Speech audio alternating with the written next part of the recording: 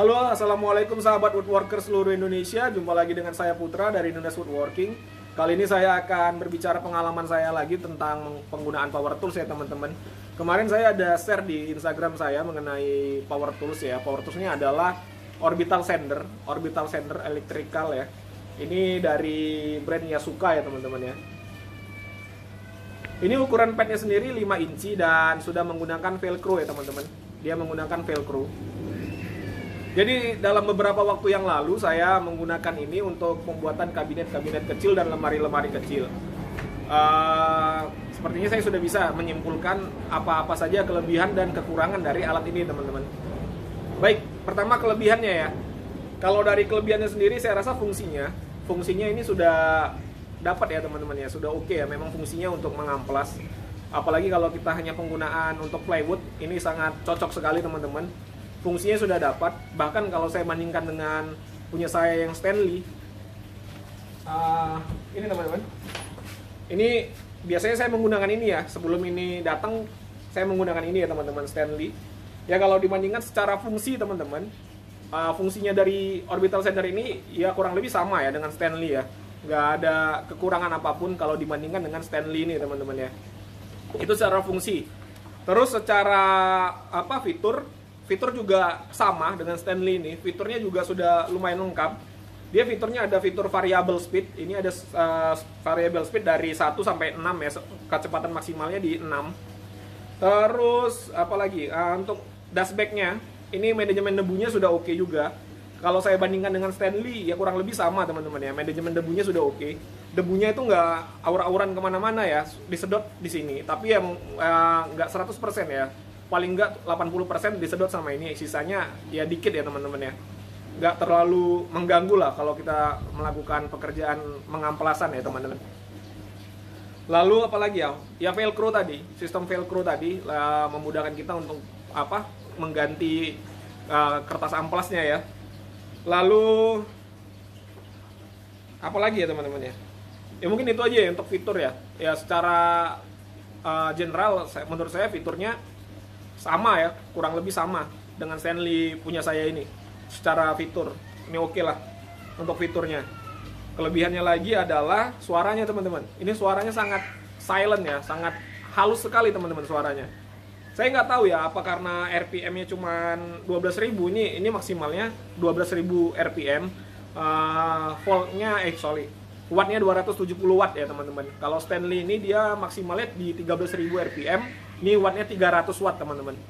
Ya mungkin karena wattnya juga rendah atau putaran RPM-nya juga nggak terlalu tinggi seperti Stanley, mungkin ya. Tapi 1000 RPM itu menurut saya nggak terlalu jauh ya teman-teman ya, nggak terlalu signifikan lah untuk sebuah alat uh, orbital sender ya teman-teman ya. Pesawat lewat terus dekat bandara rumahnya soalnya teman-teman maaf ya kalau agak mengganggu ya teman-teman ya oke untuk suara kita kita bandingkan aja teman-teman ya ini saya mau kasih tahu buat teman-teman ini suaranya bagus sekali teman-teman. Silent lah. Kalau teman-teman itu workshopnya tidak proper seperti saya ini yang di, cuma di garasi rumah dan rumahnya di komplek perumahan ya mungkin ini sangat membantu teman-teman dalam pekerjaan. Jadi sehingga tidak mengganggu tetangga ya. Baik kita coba aja untuk suaranya teman-teman ya.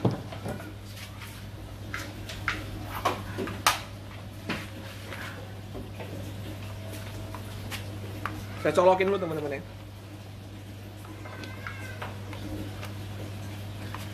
Ya, ini untuk saya mulai dari nomor satu ya teman-teman ya. Eh sorry, nomor satu ya teman-teman. Ini nomor satunya teman-teman. Nyaris nggak nggak ada suara ya teman-teman ya, nyaris ya. Ini nomor dua teman-teman. Nomor dua ya. Nomor tiga. Empat. Lima. Nomor enam teman-teman. Jadi itu suaranya menurut saya halus ya teman-teman ya. Sangat oke okay lah kalau teman-teman punya workshop yang nggak proper seperti saya ini ya. Coba kita bandingkan dengan Stanley ya teman-teman. Ini yang Stanley teman-teman. Ini nomor satu nomor satu teman-teman ya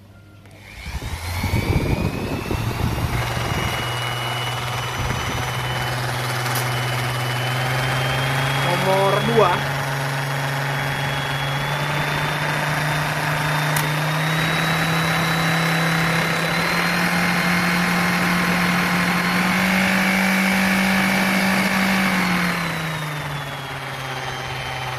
Ya bisa dibandingkan sendiri teman-teman ya. Suaranya halusan yang mana ya?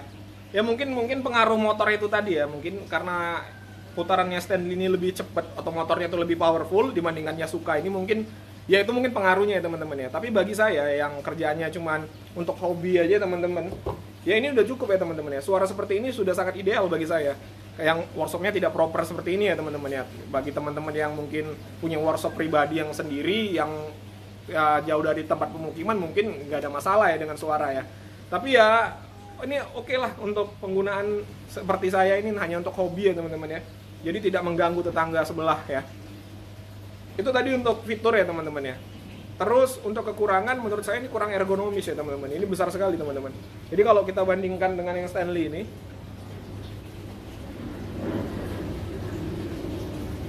ya kelihatan teman-teman ya. Kelihatan ya bedanya ya. Jadi Stanley ini lebih ergonomis ya. Terus untuk build quality ya ini memang untuk build quality-nya ya untuk plastiknya sih ya nggak nggak jelek ya. Standar lah untuk plastiknya nggak jelek standar. Tapi untuk finishingnya teman-teman. Finishingnya ini plastiknya tuh melebar ke mana-mana teman-teman. Melebar nih ke mana-mana dia melebar ya ya kurang rapi lah ya kurang rapi ya. Tapi menurut saya sih kalau kita yang kerjanya woodworking ini kan tidak butuh tidak terlalu butuh untuk bentuk fisik dari sebuah power tools ya teman-teman ya.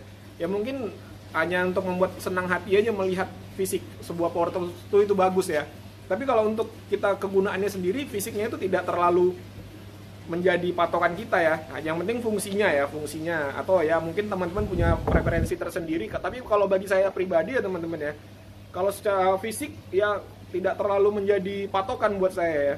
Kalau fisik bagus itu hanya uh, bonus saja teman-teman ya. Tapi yang pagi bagi paling penting bagi saya adalah fungsinya dan fitur.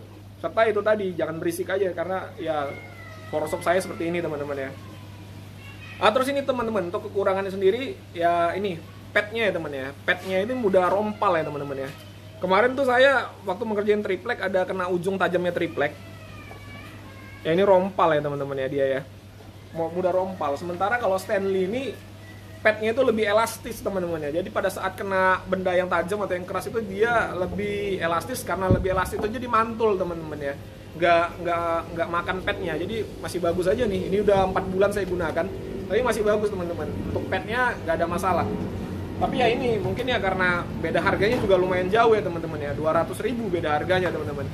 Jadi menurut saya sih ya nggak masalah lah kalau untuk petnya yang seperti ini dengan beda harga yang seperti ya, harga beda harga 200 ribu saya rasa sih nggak nggak menjadi suatu kendala ya untuk kita membeli alat ini ya teman-teman ya.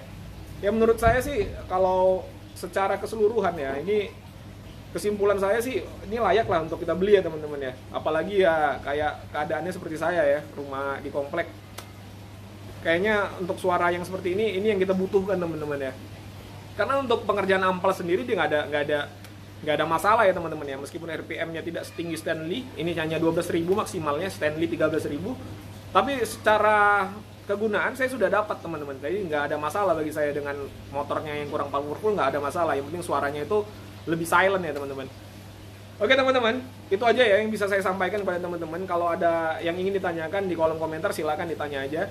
Kalau suka dengan videonya silahkan like, kalau nggak suka dislike aja teman-teman. Jangan lupa subscribe dan saya butuh masukan dari teman-teman untuk memajukan channel saya. Ya terima kasih teman-teman. Assalamualaikum warahmatullahi wabarakatuh.